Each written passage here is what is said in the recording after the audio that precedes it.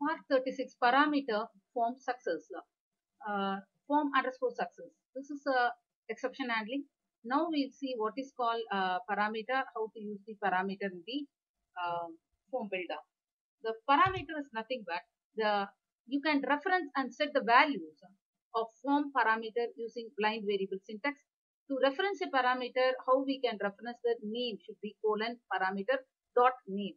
This is a syntax. We can single quotes, we can tell what is the name of the parameter. Otherwise, I had given the department dot department number is equal to parameter dot this number. This way, you can assign the parameter to the particular uh, block. This is block name. This is called name, the block name, the table name dot item number is equal to parameter. This parameter I am assigning like this. This is the way we can do it. The this is this is I am assigning it. Another method is using property param uh, palette using object navigator. Go parameter here, click create, click it here and use the parameter and put name as what? What is the name? P underscore department number. This is department number. Parameter data type is number. Maximum length I given 2 and parameter initial value 10. Why I am doing this? The reason here is nothing but you can see I am what is my idea of the parameter report is nothing but this is my department number. Whenever I click employee information, the employee table have what department number here. This department number I click 40. The 40 department all information operation post and this information should come in the department block. That is my idea. So here what department table, department number is what? The starting with 10, 20, 30 number data type. And then maximum length was 2. That's why I given 2. Initial value I am giving first department number. That is the reason. So based on, this is not compulsory, based on your whatever you are using. That way you can do. So here in the department table I am using number. In the department number, my length is 2. Initial value I am giving 10k. So what is parameter procedure? How to add parameter procedure is nothing but there is four list, a list, key, param type, parameter restriction. A parameter can consider zero or more parameter. I can create what? More than one parameter like that. Parameter one, two, like that I can create. So that's what he's saying. You cannot create a parameter list if one already exists. So same name I can't able to give. So cause error. To avoid the error, what? We can check whether the C, if parameter list already exists. If parameter already exists, delete using what? Destroy parameter list. You cannot add parameter type data parameter uh, if the parameter list is being formed. Otherwise, it is what? Text parameter. There is two types. Text underscore parameter, data underscore parameter. That we are using. What is list? Because each and every one we are saying. What is list? Key. What is param type? What is each one? What is list? It is name of the parameter list. What is we are appending? The key is nothing but name of the parameter. Specify the parameter list which the parameter is assigned. Actual parameter can be either. That way it is there. So we can see our coding. Our coding I will show it here. Then you can understand very easily. The parameter whatever it may be I will show here when uh, the button pressed. Also PL SQL editor. What is my add parameter? I will show add parameter. P underscore ID. P underscore ID is nothing but what? This is my ID. Here, whatever I am giving, param list. I am declared as param list. So this is what the first one, add parameter. This is my name of the parameter list. Whatever I created, you know, the P underscore department number. Here you can see parameter name. Name. P underscore department number. This is a name of the parameter. That's what name key is nothing but name. This is nothing but parameter list is a data type. I declare param list. So the or the varchar2 name of the parameter. And param type specify one of the following two types, whether it text parameter or a department data underscore parameter. By by general we are using text underscore parameter. Whenever we are passing only we are using data underscore parameter. Here we are using what? Text underscore parameter only we are creating. Text underscore parameter. We are to char department number. Why to char department number? You can see here value, the actual value entered passed to the called module. If you are passing the X, what text parameter, text means what? Character. So actually our uh, values are what? Number, number data type. That's why we are changing what? To char. That's what? data type of the value should be varchar. So that's why we are changing varchar because here what I given, I given as a number. So that's why I'm changing it to integer. This is for the parameter list. And here if you see get parameter list. What is get parameter list?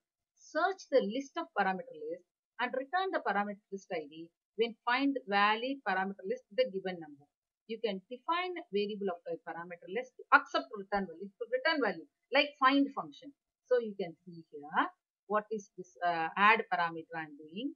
Here either exception handling I'm doing. Here I'm doing what get parameter. So I am I am giving PID is what param list. So I am getting get parameter p name. Whatever the name I'm giving my parameter. My parameter is a name. I am passing the value. Find the so that's why I am passing the value here get parameter. Destroy if not id is not null means what? We can destroy. Otherwise if it's not null. We can proceed here. So pid is equal to create parameter list p name. I am creating the parameter list of what p name here. That's what i am doing here. Here explanation is given the variable that keep your parameter name name of the parameter here using the name of the parameter by default is varchar that's what i am doing here whatever I am doing here. That's why PID, what is the value I'm here. So here you can see here, next slide, what is that get parameter and then form success. What is form success? This is like one exception handling. Use form success to test outcome of a built-in to determine further processing within any trigger. To get correct result, it must perform the test immediately after. Otherwise, what? It cause the error. So here we are using in this coding, what I am doing, I am explaining what is available in the code. If not, suppose I am calling what? If I click this button, it will call department.fms. If it is not opening, what it will do? It will find this error. That is, if not form success, then error unable to open the department form. That way I given. So exception handling I am giving error unable to create parameter list. This way it will give the exception and list here. So this is what I'm doing here. So I'm explaining what is each and every one. So the another action occurs. Form success may not reflect the status of the built-in unit test and but of the more recently executed action. Where I got this uh, coding and this idea is everything oracle.hack.com chapter 22. If you want to refer, you can refer this book. This is a parameters between forms. They are giving clearly step by step how to do how to do all these things. It is working as so, but I uh, did little bit modification in my form designing. That what I did. Here you can see how I will create. Step by step number one. You create data block employee. After employee creating, you should create a control block. You can I can show the employee editor. You can see here in the layout editor. I have created the employee layout tabular form. Here I created button. That button in the control block in the control block button, what I did was I created the button. When button press trigger, I have the this uh, values, whatever this. Before that, what first we want to do is here we should create what? Whatever it may be, we should create our parameter list. That is very, very important here. Parameter list you should create. First you create where parameter list, which department. This is employee. This is the last one you want to do. First point, what you want to do is exactly create a data block. Whatever the data block you should create. In the data block, you should do like this. In the data block, you should create what parameters. You can see I created parameter list property panel. This is one, number one, step number one. First to create parameter list in the department. My actual idea is whenever I click this button, department you want. So this is parameter click. Then only you can use this coding. After parameter click, you can go form instance PLSQL editor it will give execute query. And before that, what we want to do is in the department, uh, whatever it may be, the department property here you can go and check it here. Whatever it may be in the department, you can use like this. Where class department number is equal to parameter dot d dot is the name of the parameter. This you should include in the where class. This is very important. You should include in the where class this particular thing. Then only it will work. So you should give the what the parameter list, whatever the uh, thing. So whatever the column department is equal to parameter dot department number. It is very important and you can change the query data source name is what. Department is already available. Whatever it may be, it's all are available here. So uh, everything you should be as it is. Nothing is there. So after that, what we should do is here you can say data block means yes, whatever inquiry allow table. It is a department table, department block. Everything you can give in the department case. So automatic, whatever it may be, it is only this one. Here you can take what the, the DML data target type should be table you should be. This is you should set. Otherwise all are uh, same. Nothing to change here. And this is for the item. The item, nothing I am doing. Here what I added as per the reference. Here I added quit because this is called quit uh, whatever it may be. It is uh, exit underscore um, uh, form. Exit underscore form. Why I am using it. Whenever I exit, again it return back to open form. So here I created. So this is my coding. Show me department information. This is my when button press PLSQL editor. You can see the coding. Full coding I do. The coding only just now I explained. The coding first what I'm doing, I'm declaring parameter list and then I'm getting the parameter list. After that what I'm doing? If not null, then I'm doing. After that I'm adding the parameter list, create parameter list adding, opening form, the department.fmx. Then uh, what I'm doing, if I exception handling, I'm working. Whatever is not success, I'm doing. Now I will compile and show what are the things. This is last step employee creating is a lost step. So I am compile and I will run the form. I will show how it is working the form. So this is my form.